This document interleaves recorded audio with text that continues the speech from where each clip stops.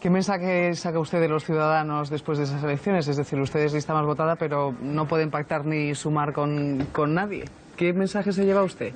¿En qué han podido fallar? Pues que es un momento, yo creo, para reflexionar los partidos políticos, los ciudadanos, con nuestro voto, para saber mm, dónde vamos.